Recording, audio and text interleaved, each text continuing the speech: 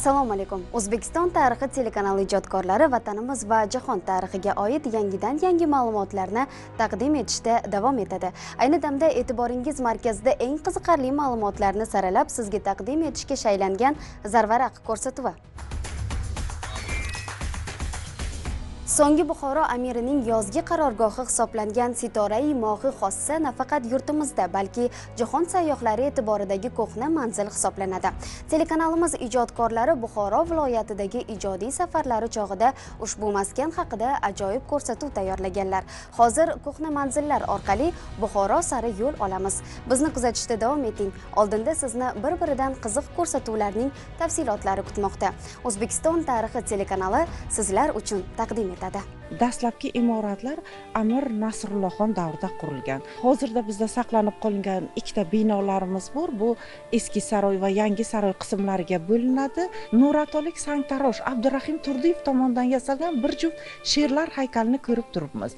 Mana shu usta ishlagan yana bir e, favvora o'rtasida ikkita baliq shakli bo'lgan va e, saroyni yoritgan germaniyadan keltirilgan dvijok ishlaganda mana shu ikkita baliq og'zidan suv otilib turgan.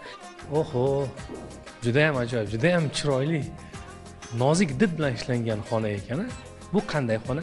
Qabulxona binosining birinchi xonasi. Ya'ni rasmiy qabullarga kirishdan oldin mehmonlar elchilar o'tirib o'z navbatini kutadigan xonai intizor bu kutish xonasi bo'lgan. Xonani buxorolik naqqosh ustalar usta hasanjon umarov nabijon hafizovlar bir ming to'qqiz yuz o'n uchinchi yilda bezaydi. Qarang har qanday inson bahridan ochadigan ranglar naqshinkor e, tasvirlar.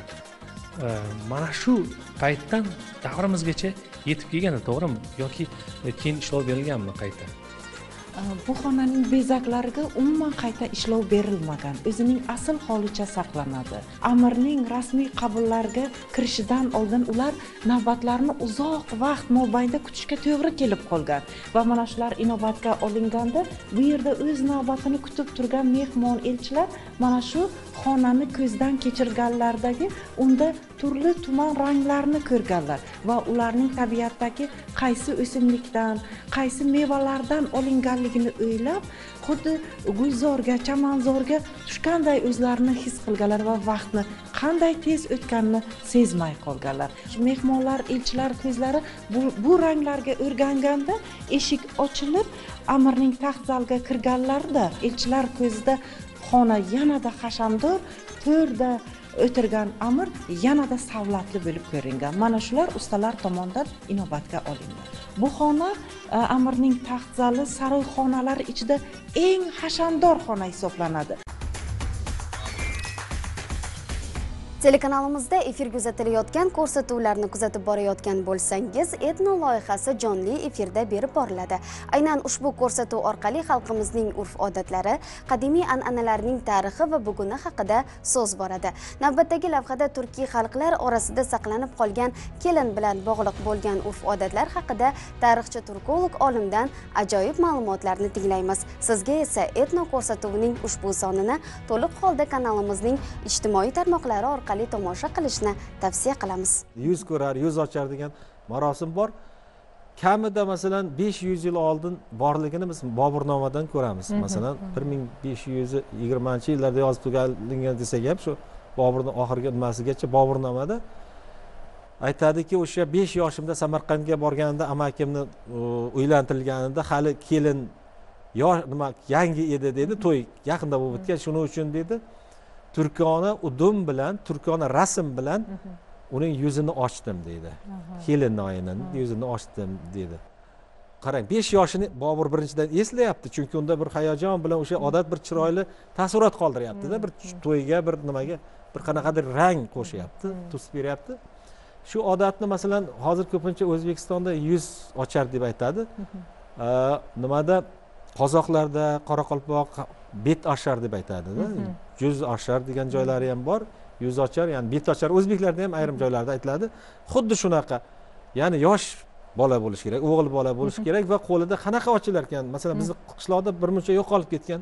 Boshqa joylardan so'radi men yaqinda bir e, ijtimoiy tarmoqda chiqish qilganimda ko'pchilik bizda ham dedi farg'ona vodiysida ham surxondaryodan ham samarqanddan ham hamma joydan xorazmdan ham yozishdiki bizda ham xuddi shunaqa saqlangan faqat qozoq qirg'izlar yo qoraqalpoqlarda emas bizda ham aynan shunaqa ko'rinishda saqlangan ya'ni ochish marosimida bu yosh bola tanlanadi qo'liga bir tayoqni oladi deydi anaqa qilib yuzidagi yopinchig'ini ochadi deydi uni bobur yuz yopig'i bor edi deb yozadi. Hozir biz yuz yopinchig'i deymiz. Ozgina o'zgarishyapti so'zlarda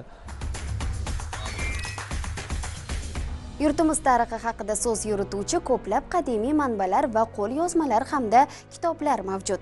Qolaversa o'tkazilayotgan arxeologik tadqiqotlar natijasida tarixchi olimlar tomonidan farg'ona vodiysi haqida biz eshitmagan ko'plab yangidan yangi ma'lumotlar taqdim etib kelinmoqda. Tarix va yangi talqin ko'rsatuvida axsikent yodgorligi tarixi haqida so'z boradi. Farg'ona vodiysida uzoq yillar davomida qadimgi ajdodlarimiz yashab kelgan. Miloddan avvalgi 7-6 asrlarda eylatan madaniyati doirasida farg'ona vodiysidagi daryo va soylarning delta qismida ilk temir davriga oid shaharlar paydo bo'ladi. Bundan 2100 yil avval xitoy manbalarida keyinchalik arab manbalarida tilga olingan farg'ona davlatining poytaxti farg'ona shahri axsikent yodgorligi o'rnida bo'lgan. To milodiy erani to'qqizinchi asrning o'rtalarigacha farg'ona shahri deb atalgan axsikent. Bu yerda yuqori sifatli po'lat tayyorlash metodikasi yaratilgan usuli. Bu usul turli hududlardan olib kelgan madanni eritish orqali u yerda juda egiluvchan shu bilan birgalikda mustahkam po'lat yaratishga muvaffaq bo'lingan olim shu temirchilar tomonidan va bu yangi qilingan ixtiro uzoq yillar davomida e, axsikent po'latining siri sifatida saqlanib qolgan. O'sha axsikent po'latining sifati butun dunyoga mashhur bo'lib o'rta asrlarga kelganda xususan o'ninchi o'n uchinchi asrlarda e, temirchilik mahsulotlarini eksport qilishga mo'ljallangan sanoatlashgan shaharga aylangan. Farg'ona vodiysida termachilikka asoslangan ibtidoiy dehqonchilik miloddan avvalgi 6000 yillikda markaziy farg'onaning ko'llari atrofida shakllangan. Ilk sug'orma dehqonchilik esa miloddan avvalgi 3000 yillikning ikkinchi yarmida farg'ona vodiysining ba'zi bir adir orti vohalarida yo'lga qo'yiladi. Miloddan avvalgi 2000 yillikning ikkinchi yarmiga kelib sug'orma dehqonchilik vodiyning barcha daryo va soylarning adir orti vohalarida kengroq ko'lamda amalga oshiriladi. Xuddi shu davrda chust va dalvarzin kabi ilk shaharlar paydo bo'ladi. Miloddan avvalgi 10-9 asrlarda kosonsoy oqbura va aravonsoyning eski irmoqlari o'rnida dastlabki kanallar quriladi. Akademik zayniddin faxriddinov yurtimiz tuprog'ida vatani o'zga yurt bo'lgan sitrus meva limonni ham mahalliylashtirib hatto uning bir necha turini kashf qilgan suratlarda qolgan tarix ko'rsatuvi orqali olimlarning noyob bir suratini mutaxassis sharhlab bergan suratning ichiga shunday qiziqarli tarix joylanganki ko'rsangiz o'zingiz guvoh bo'lasiz mani qo'limda bir tarixiy hujjat turibdi u ham bo'lsa mana e, bir ming to'qqiz yuz yetmish yettinchi yillar chamasi toshkent shahrida katta bir xalqaro anjuman bo'lgan paytda tushilgan rasm. Ana qo'limda suratda kubani prezidenti fidel kastro turibdi. Uni yonlarida oq xalatda esa do'ppi kiygan e, o'sha paytdagi xalq akademigi taniqli e, limonshunos olim bo'lgan zayniddin faxriddinov turibdilar. E, o'sha payt yurtimiz rahbari bo'lgan sharob rashidov ham shu tadbirda o'zlari birga bo'lganlar. Fidel kastro toshkentga kelgan paytida zayniddin faxriddinov o'sha rahbarlik qilayotgan limonariga olib borishgan paytida ham zayniddin faxriddinov kubani prezidenti fidel kastroga qo'llarida bir limonni kesib berganlar. Shu paytda u kulimsirab bir gap aytgan ekanki man limonni nima qilaman? O'zim kuba e, davlatini rahbari bo'lsam bizda sitrus e, har yerda hattoki o'sha hosil ko'pligidan suvda oqib ketadi. Man buni tamaddi qilishim shart desa bir ko'ring degan ekanlar.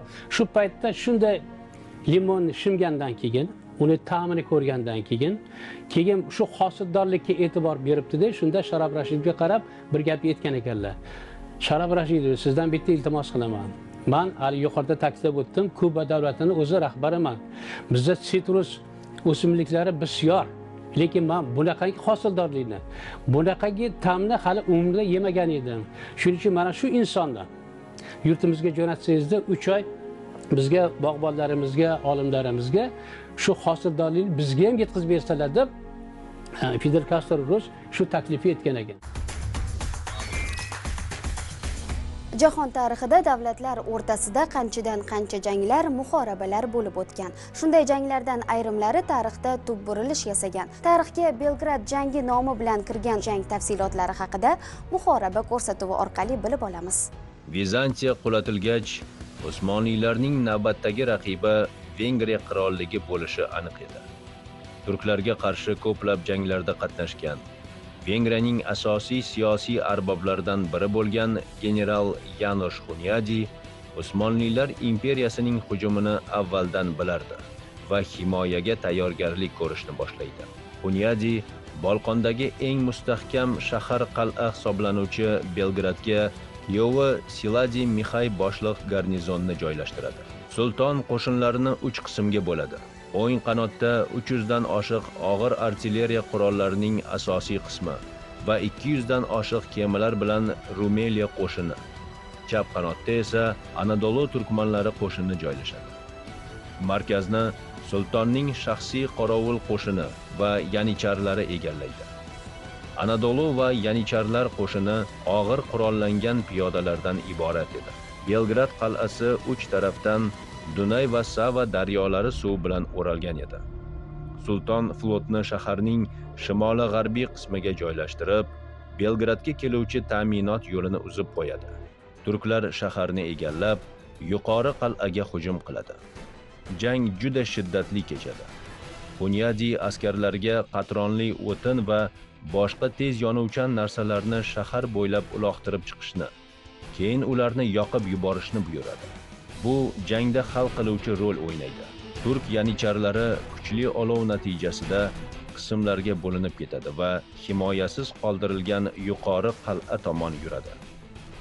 Bu yerda ular qurshovga olinib tormor etiladi. Shu tariqa hujum qaytarilib turklar chekinishga majbur bo'ladi. Belgraddagi mag'lubiyat usmoniylarning yevropaga yurishlarini 70 yilga to'xtatib qo'yadi. G'alaba haqida eshitgan papa kaliks uchinchi barcha cherkovlarda peshin qo'ng'iroqlarni chalishni buyuradi. Keyinchalik bu odatga aylanib hozirga qadar davom etmoqda. Telekanalimizning tinib tinchimaydigan ijodkorlaridan biri yulduz usmonova tomonidan tayyorlanib efirga uzatilayotgan o'tmish sirlari ko'rsatuvini kuzatib borayotgan bo'lsangiz unda ibtidoiy davrlar paleolit mezolit neolit eneolit bronza hamda ilk temir davri haqida tarixchi olimlar bilan birgalikda sizlarga tarixiy ma'lumotlarni berib bormoqda. Navbatdagi ko'rsatuvda o'sha davr odamlarining e'tiqodlari haqida so'z yuritilgan. Diniy qarashlar. Bu mavzudagi izlanishlar va bahsu munozaralar tarixchi olimlar oldidagi eng katta mavzulardan biri bo'lib kelgan. Biz yurtimiz tarixini o'rganar ekanmiz. Har bir davrda mavjud bo'lgan e'tiqodlar haqidagi fikrlarga ham duch kelamiz. Bu o'rinda ilk temir davri e'tiqodi o'rta osiyo hududidagi birinchi diniy qarashlardan ekanligini e'tirof etish joiz. Zardushtiylik dini esa ilk dunyoviy din deya tan olingan. Shu o'rinda savol tug'iladi. Zardushtiylik diniga qanday asoslar bo'lgan? Zardushtiylikka asos bo'lgan o'rta osiyo xalqlari yaratgan diniy qarashlar bor. U totemizm emas u fetishizm emas o'rta osiyo xalqlari yaratgan diniy qarashlar bor. Bu ajdodlar ruhiga ibodat. Mana shu diniy qarash bo'lgan rivojlangan. Ikkinchisi zolatriya zolatriya zolatriya degan zoopark degan so'zga yaqinroq hayvonot dunyosiga sig'inish. Bu totemizm emas totemizmda insonlar ko'r ko'rona hayvonot dunyosiga sig'inish. Zolatriyada ongli sig'inish. Masalan totemistik hayvonlar bor. O'rta osiyoda totemistik hayvonlardan bittasi sigir. Sigir totemistik hayvon chunki zardushtiylikda olamning paydo bo'lishi e, sigir bilan bog'lanadi. Ikkinchi zalatrik hayvon ilon. Zalatrik hayvonlarning yana bittasi it. Demak biz fanimizga totemizm emas zalatri haqida o'ylashimiz kerak. Bo'ladi zoolatriya asos bo'lgan. Zardushtiylikning paydo bo'lishida bir qancha diniy e'tiqodlarni birgalikda muloqotga kiritishning o'rni bor. Ijtimoiy hayotning yangi bosqichga o'tishida bronza davrida xo'jalikning rivojlanishi migratsiyaning osonlashishi aravalarning kashf qilinishi dehqonchilikning rivojlanishi transport vositalarining rivojlanishi mulkiy munosabatlarning kuchayishi rivojlanishda jamiyatda g'oya doim birinchi o'rin turadi. Mana shu g'oya dinda ifodalangan. Mana shu din ya'ni yangi g'oya butun kengroq hududni qamrab oladigan kengroq aholi qatlamlarini qamrab oladigan din zardushtiylikning e, inqilobida yoki zardushtiylikning o'sha vujudga kelishi zardush timsolidagi islohotda namoyon bo'lgan. Olovga sig'inilmagan. Olov shunchaki belgi bu. Nimani belgisi? Quyoshni belgisi. Dunyo xalqlarida eng ko'p e'tiqod qilingan obyektlardan biri eng ko'p e'tiqod qilingan tabiat e, kuchlaridan biri bu quyosh o'zbekiston tarixi telekanalida efirga uzatilayotgan ko'rsatuvlarni kanalimizning ijtimoiy sahifalarida kuzatib borishni hamda o'z fikr va mulohazalaringizni yozib yuborishni unutmang. Biz esa siz uchun izlanishda davom etamiz. Zarvaraqda ko'rishguncha xayr salomat bo'ling.